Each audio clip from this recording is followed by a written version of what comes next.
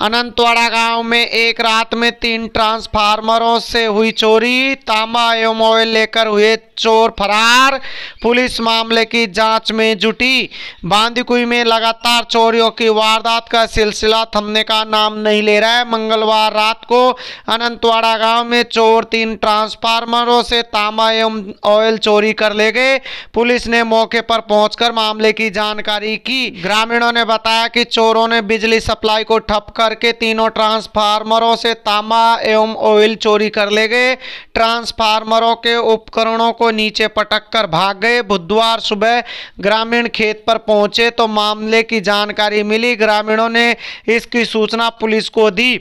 Police ने मौके पर पहुंचकर मामले की जाँच की।